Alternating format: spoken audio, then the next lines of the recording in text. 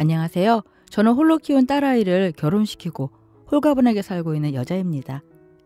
돈 번다고 다른 아이들만큼 신경을 못 써줬는데 기특하게도 아이 혼자 잘 자라줘서 지금까지 오게 됐네요. 참 힘든 시간이었습니다. 지금도 마찬가지지만 당시엔 갓 태어난 아이를 데리고 여자 혼자 살아가는 게 정말 힘든 일이었어요. 심지어 제가 그런 상황에 부닥치게 된 것이 모두 악마 같은 인간들 탓이라는 게 더 억울합니다. 하지만 그들은 제 값을 받았고 저는 이제야 두 다리 쭉 뻗고 마음 놓고 살 수 있게 되었네요. 이제부터 여러분께 제가 어떤 일을 겪으며 지금에 이르게 되었는지 썰만 구독자분들께 말씀드리고자 합니다. 제가 남편과 처음 만난 것은 대학생 때였어요.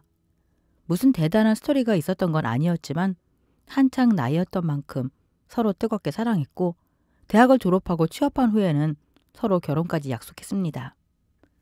하지만 사랑은 제 마음대로 시작할 수 있었지만 결혼은 그렇지 않았어요. 문제는 양가 집안 차이였습니다.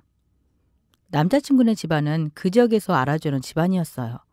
남자친구의 아버지는 지역구에서 이성까지 하신 정치인이셨고 어머니는 사업가셨습니다. 흔히 말해 돈도 많고 권력도 있는 집안이었던 거죠. 반면 저희 집은 평범한 수준보다 조금 아래였습니다. 회사원이셨던 아버지는 은퇴 후에 아파트 경비 일을 하셨고 어머니는 식당에서 일하셨거든요. 두 분 모두 힘든 삶을 살아내시느라 간신히 빌라 한 채 마련하신 것 말고는 다른 노후 준비는 전혀 되어 있지 않으셨습니다. 누가 보더라도 남자친구네 집안이 훨씬 더 나았지요. 연애하는 동안 저는 그 부분을 계속 걱정했어요. 결혼이라는 게 사랑만으로 할 수 있는 일은 아니었으니 나중에 분명 문제가 될 거라고 남자친구에게 이야기했습니다. 하지만 남자친구는 전혀 신경 쓰지 않더라고요. 어차피 결혼한 후에 부모님 도움받으면서 살 것도 아닌데 서로 사랑하기만 하면 됐지 그런 건 아무 문제도 아니라고 이야기했습니다. 그런 남자친구가 한편으로는 고마웠지만 다른 한편으로는 많이 걱정되기도 했네요. 일어날 일은 결국 일어난다고 하던가요? 결혼할 나이가 가까워지자 우려했던 일이 생기고 말았습니다. 남자친구의 부모님이 절 따로 부르신 거죠. 회사에서 일하고 있는데 모르는 번호로 전화가 오길래 가웃거리며 전화를 받았는데 남자친구의 어머니시더라고요. 그래서 남자친구 몰래 그날 저녁 회사 근처에서 남자친구의 어머니를 만나게 되었습니다.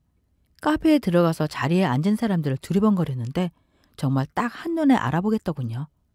차림새 자체는 여성 정장이었지만 누가 봐도 고급스러워 보이는 옷차림을 한 중년 여성이 창가에 앉아 계셨습니다.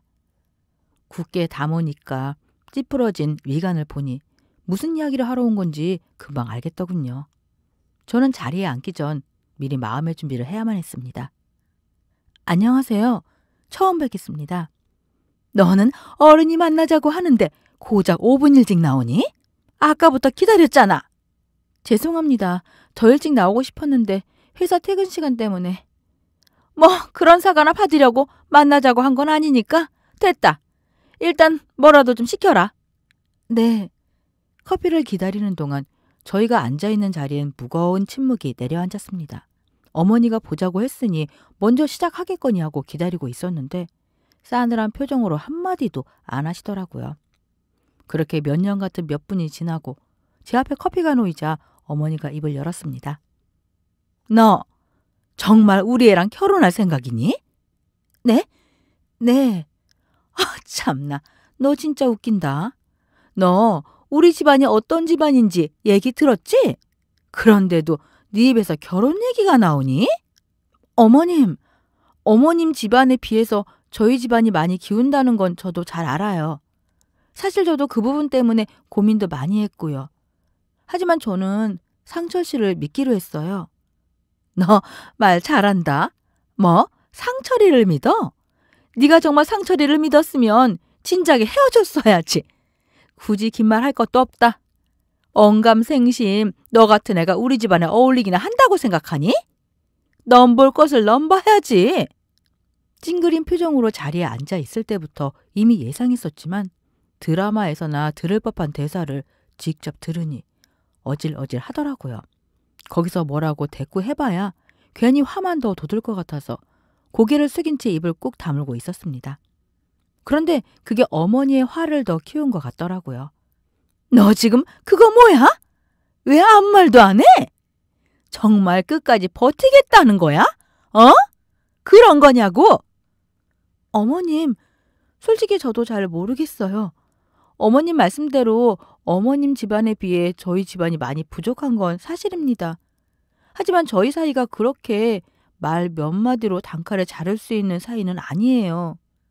처음 만났을 때처럼은 아니지만 저희는 여전히 사랑하고 있습니다. 이렇게 말씀드리면 어떻게 들으실지 모르겠지만 저도 상철 씨 말고 다른 사람과 결혼하는 건 상상해 본 적도 없어요. 결혼을 하겠다고 하는 것도 하지 않겠다고 하는 것도 둘 다 제게는 못할 말이라 그저 솔직한 생각을 털어놓는 것밖에 달리 할 수 있는 일이 없었습니다. 그런데 제 이야기를 들으신 어머니는 질렸다는 듯 고개를 절레절레 흔드시더니 핸드백에서 뭔가를 주섬주섬 꺼내서 제 앞에 놓으시더라고요. 당시 상황이 상황이라 경황이 없어서 처음엔 그게 뭔지 잘 몰랐습니다. 그런데 고개를 내려보니 봉투더라고요. 세상에 드라마에서나 보던 그 일을 제가 겪게 된 것이었습니다. 너랑 상철이가 오래 만났다는 건 들어서 안다. 그래도 이건 아니야. 너에게나 상철이에게나 결혼은 중요한 일이다. 집안이 키우러도 어느 정도 해야지. 이 정도 차이면은 안 하는 게 너한테도 좋아. 섭섭지 않게 넣었으니 여기까지만 하자. 와, 그땐 정말 당황해서 뭐라고 대꾸해야 할지 생각도 안 났습니다. 드라마에선 봉투를 집어 던지면서 화를 내기도 하고 그러던데 막상 제가 당해보니까 머릿속이 그냥 하얘지더라고요. 물론 그 돈을 받을 생각은 초도 없었습니다. 액수조차 궁금하지 않았어요. 다만 제 생각이 잘 정리되지 않아서 입을 열지 못했던 거였죠. 그런데 어머니는 그걸 긍정의 의미로 받아들이신 것 같았습니다. 반응을 보니 잘 알아들은 것 같구나. 그럼 이제 상철이랑 더 만나는 일은 없는 걸로 알고 있으마. 그러고는 그대로 자리에서 일어나려 하시더군요. 그제야 정신을 차린 저는 황급히 봉투를 집어서 어머니께 돌려드렸습니다. 그러자 어머니의 눈이 휘둥그레지더군요. 너 이거 지금 무슨 의미니? 정말 끝까지 해보겠다는 거야? 아니요. 그런 게 아니에요. 그저 이 돈을 받으면 제가 너무 초라해질 것 같아서요. 돈 없는 게 초라하지. 돈 있는 게 왜 초라해? 진짜 없는 애들 생각은 알다가도 모르겠다니까. 네가 안 받겠다니 나도 억지로 떠밀지는 않으마. 어쨌든 우리 상철이랑은 더 안 만나는 건 맞지? 죄송하지만 그것도 장담은 못 드릴 것 같아요. 뭐? 뭐야? 너 지금 장난하니? 어머니는 황당하다는 듯 헛웃음을 치며 다시 자리에 앉아 저를 노려보셨어요. 그때쯤 되자 저도 생각이 조금씩 정리되더군요. 그래서 마음을 굳게 먹고 제 생각을 말씀드렸습니다. 어머님, 아까도 말씀드렸지만 저도 저희 집안이 많이 기운다는 거 잘 알아요. 그래서 상철 씨와의 만남을 이어가는 걸 주저한 적도 있었고요. 하지만 그렇다고 이렇게 어머님이 주시는 돈 덥석 받고 끝낼 수 있을 정도로 상철 씨에 대한 제 마음이 가볍지는 않습니다. 누군가와 결혼한다면 상철 씨와 하겠다고 말씀드렸던 건 진심이에요. 하지만 그렇다고 안 될 일을 막무가내로 밀어붙이는 건 아닙니다. 저도 아직 어떻게 해야 할지 결정을 못 내렸어요. 그러니 제게 생각할 시간을 좀 주세요. 그러자 또다시 차가운 침묵이 내려앉았습니다. 어머니는 그 자리에서 잡아먹기라도 할 기세로 저를 노려보셨죠. 그렇게 한참이 흐르고 드디어 어머니가 입을 여셨습니다. 한 달 주마. 그때까지 서로 얼굴 붉히는 일 없게 결정 잘하거라. 남자친구 어머니와의 첫 만남은 그렇게 끝이 났습니다. 어머니와 만난 건 고작 30분 남짓이었는데 카페를 나올 땐 무슨 며칠이 지난 것 같은 기분이었어요. 황당하기도 했고 화가 나기도 했죠. 무엇보다 TV에서나 보던 일을 제가 겪게 되고 나니 이건 뭐 어떻게 반응을 해야 할지 갈피를 잡을 수가 없었습니다. 물론 저 스스로도 남자친구의 부모님이 저를 탐탁지 않게 생각하시리라는 건 예상하고 있었어요. 남자친구와 결혼을 하고 싶지만 쉽지만은 않을 것 같다고도 생각했고요. 하지만 그 방법이 돈 봉투를 들이미는 것이 될 거라고는 꿈에서도 생각해 보지 않았네요. 황당한 일을 겪긴 했지만 제 심리적 충격은 생각보다 크지 않았습니다. 물론 처음엔 화도 좀 났지요. 날 뭘로 보고 돈 봉투를 들이미나 하는 생각을 잠깐 하기도 했으니까요. 하지만 그런 마음은 곧 사라지고 앞으로 어떻게 해야 할지에 대한 생각이 대신 자리를 잡았습니다. 뭐가 어떻게 됐든 결국엔 제 결정에 따라 모든 것이 바뀌는 일이었으니까요. 그러나 아무리 고민해도 결론을 내릴 수가 없었습니다. 사실 순전히 이성적으로만 생각하면은 이 결혼을 하지 않는 게 맞는 일이었지요. 남자친구가 저를 어떻게 생각하는지의 문제는 뒤로 미루더라도 일단 시부모님 될 사람들이 저를 극도로 싫어하는데 결혼 생활이 순탄할 리가 없었으니까요. 아무리 부모님 도움 없이 살겠다고 호언장담하더라도 가족 관계라는 게 또 그렇지가 않잖아요. 하물며 지역 유지인 남자친구의 부모님이 가진 영향력을 생각하면 그냥 거기서 끝내는 게 옳은 일이었습니다. 하지만 문제는 제 마음이었어요. 처음 만났을 때처럼 뜨거운 사랑은 아니었지만 당시에 저는 남자친구를 무척 신뢰하고 있었거든요. 대학생 때부터 늘 함께한 사람이고 언제 어디서든 늘 저와 함께 있던 사람인데 마음이 식은 것도 아니고 부모님이 헤어지라고 해서 헤어진다는 걸 도저히 받아들일 수가 없었습니다. 남자친구가 없다고 생각하면 갑자기 대낮도로 한복판에 발가벗고 서 있는 것 같은 느낌이었어요. 저는 그만큼 남자친구에게 의지하고 있었습니다.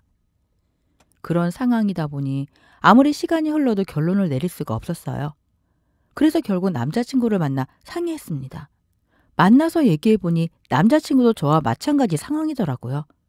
부모님은 선자리를 마련할 테니 당장 헤어지라고 종용하고 마음속으로는 또 저처럼 쉽게 놓지 못하는 그런 상황이었습니다. 그렇게 저희는 술잔을 앞에 놓고서 한숨만 푹푹 쉴 수밖에 없었지요. 그런데 그날의 만남이 그런 식으로 흘러가게 될 줄은 꿈에도 생각하지 못했습니다. 그날 저와 남자친구는 모처럼 만나 저녁과 함께 술을 한잔하고 잠자리를 가졌어요. 그런데 이제껏 단 한 번도 문제가 없더니 하필 그때 문제가 생긴 것이었습니다. 네, 제가 임신하게 된 것이지요. 아무 이유도 없이 생리가 멈췄길래 별 생각 없이 병원에 갔다가 임신이라는 이야기를 들었을 때는 정말 눈앞이 깜깜해지는 것 같았습니다. 그때까지도 저는 아무런 결정도 내리지 못한 상태였으니까요.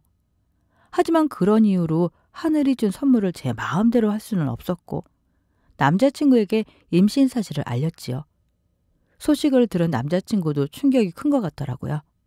하지만 금세 마음을 다잡았고 며칠 후 저를 자기 부모님께 인사시키더군요. 시부모님은 여전히 저를 못마땅하게 여기셨지만 자식 이기는 부모는 없는 법이더라고요. 두 분은 뱃속에 아이를 앞세워서 밀어붙이는 남편을 이기지 못했고 그렇게 저는 뜻하지 않는 결혼을 하게 되었습니다. 결혼 허락이 떨어졌을 때 저는 시부모님이 이제 다 포기하신 줄 알았어요. 하지만 전혀 아니었습니다. 당시 막 사업을 시작하던 남편과 사회 초년생이던 저는 가진 게 별로 없었어요. 그래서 어쩔 수 없이 당분간은 시집살이를 해야 했습니다. 이제 와서 돌이켜보면 정말 지독한 시집살이였죠. 넌 도대체 할 줄 아는 게 뭐니? 왜 아직 저녁 준비가 안 되어 있어? 죄송해요, 어머니. 일이 좀 늦게 끝나서요. 얼른 차릴게요. 너는 월급도 치꼬리만큼 받으면서 회사에 뭐 그렇게 충성을 갖다 바치니? 회사에다 하는 거 반만큼이라도 시대게 해봐. 아휴, 내가 어쩌다 저런 거를 며느리로 들여서는. 죄송합니다. 그나저나 너 아들인지 딸인지는 언제 알 수 있는 거야? 슬슬 때 되지 않았어? 제가 다니는 산부인과 의사 선생님이 좀 옛날 분이셔서요. 저도 여러 번 여쭤봤는데 도무지 말씀을 안 해주시네요. 요즘 세상에 무슨 그런 병원이 다 있어? 당장 병원부터 바꿔. 저 처음부터 봐주신 선생님이시라 이제 와서 바꾸긴 좀 어려울 것 같아요. 죄송해요, 어머님. 아휴, 무슨 말만 하면 죄송, 죄송. 좀 죄송할 일을 만들지를 만던가. 너 뱃속에 아이 아들 아니기만 해봐. 그 길로 쫓아내버릴 테니까. 그렇습니다. 시몬은 제가 자기 손자를 갖고 있을까봐 절 내치지 못하는 것이었어요. 결혼할 때부터 저도 이미 그 사실을 알고 있었죠. 하지만 안타깝게도 제 뱃속의 아이는 딸이었습니다. 이미 산부인과에서 확답을 들은 상태였지요. 그렇다고 덥석 그 얘기를 해버리면 정말로 절 내쫓을 것 같아서 어떻게든 질질 시간을 끌었습니다. 저한테는 모질게 얘기해도 자기 손녀딸을 직접 보게 되면 마음이 달라질 거라고 생각했거든요.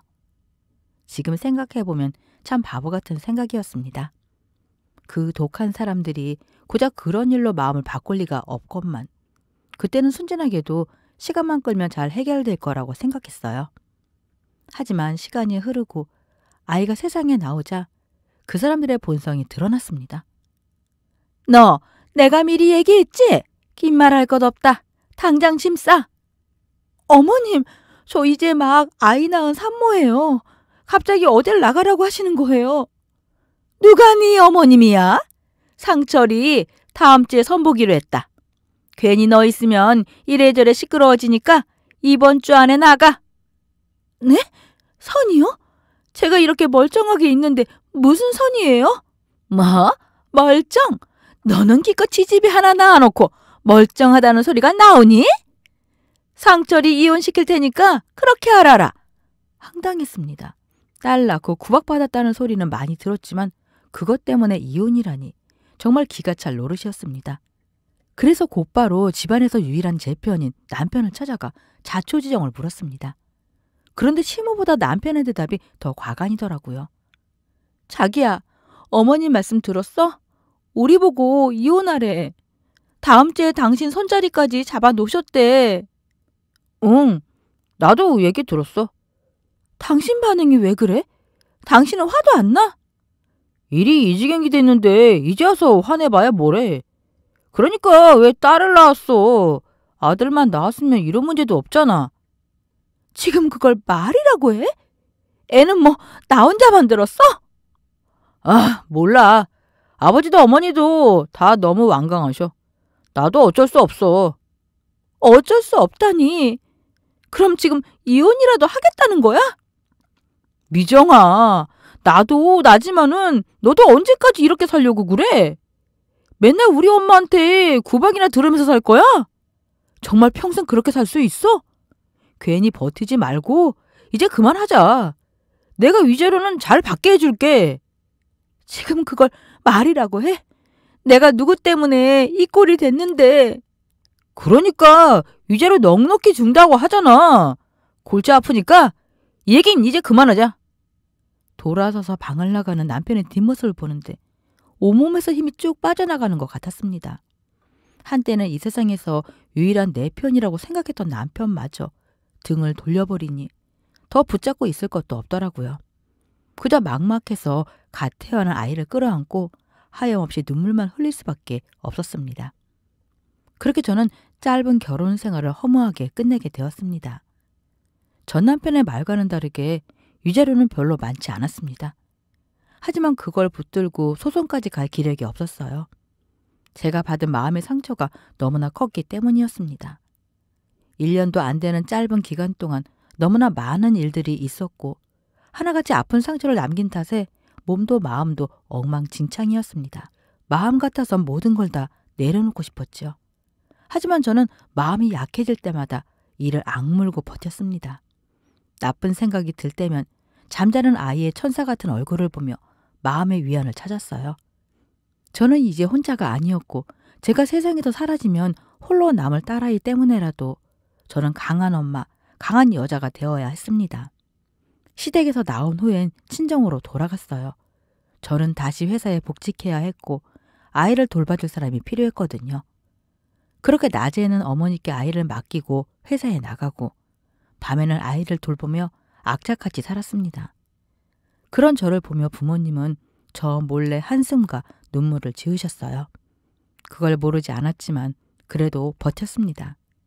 버티고 또 버티다 보면은 언젠가는 저도 행복해질 수 있을 거라고 막연하게 믿었지요. 제가 그렇게 힘들게 사는 동안 전 시댁과 전 남편에게서는 연락 한 번 오지 않았습니다. 처음엔 양육비 때문에라도 몇 번 연락이라도 하더니 1년쯤 지나면서부터는 양육비도 보내지 않고 연락도 끊어버리더군요. 하도 화가 나서 시댁에 찾아갔는데 언제 도망쳤는지 집까지 이사한 상태였습니다. 말 그대로 저와는 연을 끊겠다는 거였어요. 물론 그 동네에서 알만한 사람은 다 아는 집안이라 찾으려면 못 찾을 것도 없었고 전 시모의 사업체도 어디 있는지 알고 있었지만 굳이 찾아가지 않았습니다. 인간 같지 않은 것들과 만나봐야 대화가 될 리도 없었으니까요. 그렇게 시간은 흘렀습니다. 부모님은 날이 갈수록 연로해지셔서 언젠가부터는 집안에서 돈을 버는 거는 저밖에 안 남게 되었지요. 그럴수록 저는 더 회사에 목을 맬 수밖에 없었고 딸아이에게는 자연 소홀할 수밖에 없었습니다. 하지만 딸아이는 제가 신경을 써주지 못했는데도 너무나 반듯하게 잘 자라주었어요.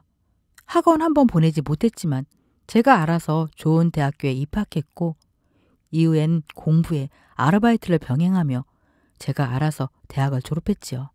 로스쿨에 들어갈 때도 제가 알아서 하겠다는 말에 제가 그러지 말라고 억지로 붙잡아서 간신히 학비를 내줄 수 있었습니다. 그렇게 로스쿨을 수석으로 졸업하고 얼마 후엔 검사가 되었고 차차 실력을 쌓더니 지방의 검찰청에서 수석 검사까지 되더군요. 그러던 어느 날이었습니다. 그때가 아마 딸아이가 31살 때였을 거예요. 전부터 만나는 사람이 있다는 건 알고 있었는데 드디어 결혼을 결심했는지 인사하러 오겠다고 하더라고요. 나중에 만나보니 강남에서 꽤 이름 있는 병원의 의사였습니다. 저는 딸아이에게 무엇 하나 해준 것이 없는데 딸아이는 알아서 제 앞가림 다 하고 결혼까지 번듯하게 하는 모습을 보니 대견하고 뿌듯하면서도 다른 한편으로는 여튼 말로 표현하기 힘들 정도로 복잡한 마음이었네요. 딸아이의 결혼은 순조롭게 진행되었습니다. 저희 딸아이가 자기 주장이 좀 강한 편인데도 그쪽 집안에서 저희 딸아이를 너무 예뻐해 주시더라고요. 결혼이라는 게 워낙 복잡하고 어려운 일이라 한 번쯤 잡음이 나올 법도 한데도 한 번도 그런 일 없이 결혼식까지 모든 것이 일사천리로 진행되더군요. 드디어 결혼식 날이 되었습니다.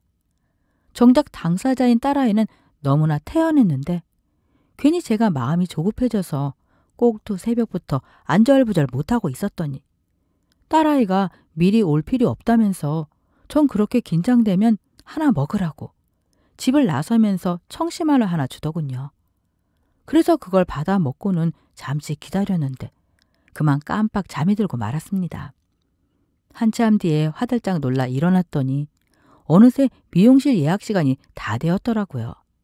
그래서 부랴부랴 챙겨서 미용실에 가서 결혼식 준비를 한 뒤 급하게 예식장에 갔습니다. 그때까지만 해도 그저 시간에 늦지 않게 도착해야 한다는 생각에 다른 생각은 하지도 못하고 있었어요. 택시를 타고 헐레벌떡 예식장으로 갔더니 아직 예식까지는 시간이 꽤 남았더라고요. 그래서 다행이라고 생각하며 한숨 돌리려고 예식장 1층으로 내려갔습니다. 잠깐 바람이라도 쐴 생각이었죠. 그런데 예식장 주차장에 웬 고급 승용차 한 대가 서더니 그곳에서 너무나 익숙하지만 다시는 보고 싶지 않은 사람들이 내렸습니다. 그들은 바로 전 시댁 식구들이었죠. 제가 너무 놀라고 황당해서 입만 떡 벌린 채 쳐다봤더니 한복으로 꽃단장을 한 전시모가 뚜벅뚜벅 걸어와 제게 말을 걸었습니다. 너는 예나 지금이나 얼 빠진 건 한결같구나. 우리 손녀 결혼식장 앞에서 왜 그렇게 얼 빠진 얼굴로 서 있어? 어머님이 여긴 어쩐 일이세요? 그 한복은 또 뭐고요? 아니, 그 전에 뭐라고 하셨어요? 소, 손녀? 손녀를 수녀라고 하지. 내가 뭐 틀린 말했니? 아들이 아니라고 강제로 이혼시켜놓고 그 후에 30년 동안 찾아오기는커녕 연락 한 번 없던 인간이 난데없이 들이닥쳐서는 소년이 뭐니 하는 꼴을 보니까 이제는 황당함을 넘어서 분노가 치밀어 올랐습니다. 그렇게 생각하신 분이 30년 동안 코빼기 한 번 안 비추셨어요? 손녀요? 저희 딸한테는 할머니 같은 거 없어요. 얼굴 한번 못 본 사람을 어떻게 할머니라고 하겠어요? 저는 일부러 더 당당하게 가슴을 펴며 대들었습니다. 이 지긋지긋한 인간들한테 언제까지 당하고만 살 수는 없겠더라고요. 제가 전과는 달라진 모습을 보이자 전 시모도 조금은 놀란 눈치였습니다. 어머, 얘 좀 봐. 그래도 30년쯤 지나니까 너 같은 애도 뭔가 달라지기는 하는구나. 뭐, 됐다.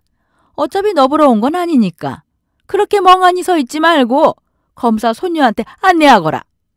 말씀드렸잖아요. 우리 딸한테는 할머니 같은 거 없다고요. 이게 보자 보자 하니까 왜 할머니가 없어? 내가 이렇게 두 눈 시퍼렇게 뜨고 있는데. 언제 한번 할머니 노릇 제대로 하신 적 있으세요? 연락은커녕 양육비 한번 제대로 보낸 적 없으면서 할머니는 무슨 할머니예요? 지금 이러시는 거 우리 딸이 검사라서 그러시는 거죠? 우리 딸이 그쪽 집안이랑 엮이는 일은 절대로 없을 테니 꿈 깨세요. 저는 다른 사람들 들으라고 일부러 바락바락 악을 쓰며 그 인간들을 막아섰습니다. 그렇게 사람을 쫓아내놓고 딸이 검사가 됐다니까 이제 와서 할머니 행세하면서 콩고물을 주워 먹으려는 인간들을 절대로 결혼식장에 들여보낼 수 없었습니다. 제가 소리를 지르며 식장 앞을 막아서자 하나둘씩 들어오던 사람들의 시선에 쏠리기 시작했습니다. 옳다구나 싶었어요. 아무래도 사람들의 이목이 집중되면은 헛된 짓은 못할 거라고 생각했거든요. 하지만 그 인간들은 부끄러움 따위는 모르는 철면피였습니다.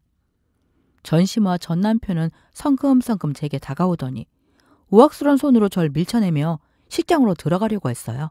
저는 어떻게든 그들을 막으려고 바지가랑이까지 붙들고 늘어졌지요. 순식간에 예식장 앞은 아수라장이 되었습니다. 이게 정말 미쳤나? 내가 내 손녀 보러 가겠다는데 네가 왜 막아? 30년 동안 나 몰라라 해놓고는 이제 와서 생색을 내겠다고? 안 돼. 절대 못 들어가. 상황이 그쯤 되자 시장으로 들어오려던 사람들은 저희를 빙 둘러싸고 무슨 일인지 구경하기 시작했습니다. 아름답고 행복해야 할 딸아이의 결혼식이 엉망이 되어가고 있었지만 그 인간들만큼은 절대로 들여보낼 수가 없었어요. 그런데 그때 딸아이의 목소리가 들렸습니다. 엄마! 엄마가 그 사람들 붙잡을 필요 없어요. 그냥 내버려 두세요. 딸아이의 말에 덩달아 기세가 오른 전시모가 목소리를 높였습니다. 이거 봐라! 우리 손녀는 저렇게 생각이 바른데 너는 어떻게 30년이 지났는데도 예전 그대로니? 이래서 집안이 중요하다니까? 전시모는 제 손을 뿌리치고 가식으로 뒤덮인 표정으로 손녀에게 다가갔습니다. 하지만 돌아온 것은 딸아이의 싸늘한 목소리였죠. 맞는 말씀이세요. 집안은 정말 중요하죠. 분명 전시모의 말에 맞장구를 치는 말이었지만 말투는 싸늘하게 그지없었습니다. 마치 범죄자를 치조하는 것 같은 목소리였어요. 딸아이가 그렇게 반응하자 철면피 전 시모도 뭔가 이상하다는 것을 느끼고서 그 자리에 멈칫거렸지요. 그러자 딸아이가 말했습니다. 진짜 제가 그동안 온갖 범죄자란 범죄자는 다 만나봤지만 당신들처럼 낯짝 두건 사람들은 또 처음이네요. 간이 크다고 해야 하나? 아니면 멍청하다고 해야 하나? 아, 아, 아가, 그게 무슨 말이니? 이봐, 당신들이 우리 엄마 그렇게 쫓아낸 걸 뻔히 아는데 내가 가만히 있을 것 같아? 나 검사 되자마자 당신들부터 팠어. 겉으로는 허허거리면서 인자한 척하는 거기 아저씨. 당신이 구의원하면서 얼마나 헤쳐먹었는지 내 손에 싹 다 있고 구의원 남편이 몰래 알려준 사전 정보로 땅 투기한 것도 다 안다고. 그리고 사업한답시고 투자금 횡령해서 기집질하고 다닌 당신 아들까지. 안 그래도 결혼식 끝나자마자 엄마 선물 삼아 죄다 잡아넣으려고 했는데 제 발로 찾아와줘서 고맙네. 딸아이는 예쁜 순백의 드레스를 차려입고 있었지만 표정과 말투는 지옥의 재판관이었습니다. 한마디 한마디가 마치 송곳처럼 사람의 가슴을 후벼 파는 것 같았지요. 자신들의 죄를 고발하는 딸아이의 말에 마치 혼주처럼 당당하던 전 시모가 사색이 된 얼굴로 말했습니다. 아가, 그게 무슨 말이니? 너 지금 그냥 하는 말이지? 응? 하늘의 맹세건데 우린 그런 적 결코 없다. 설마 손녀가 할미를 무고하겠다는 거니? 무고 같은 소리 하네. 이봐 아줌마, 내가 지금 거짓말하는 것 같아?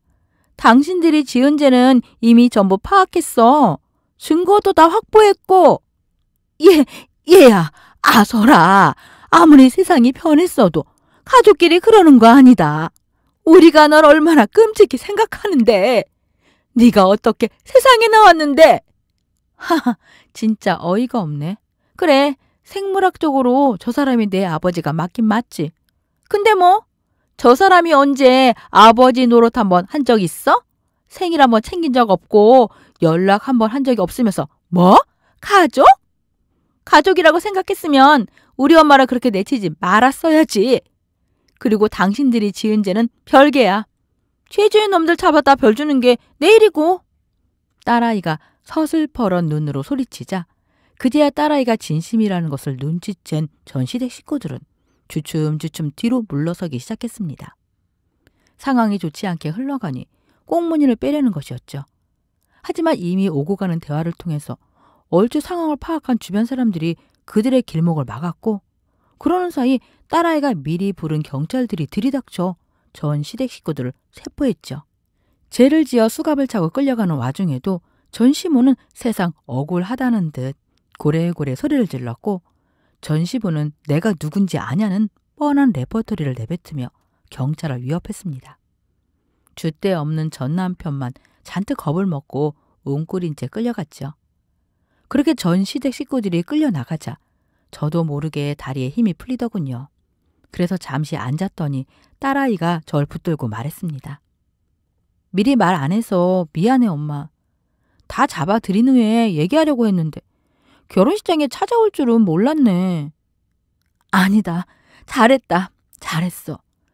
여태껏 딸아이가 제 아빠나 할머니, 할아버지에 관해 물은 적이 없어서 그냥 없는 셈 치고 사는가 보다 했습니다.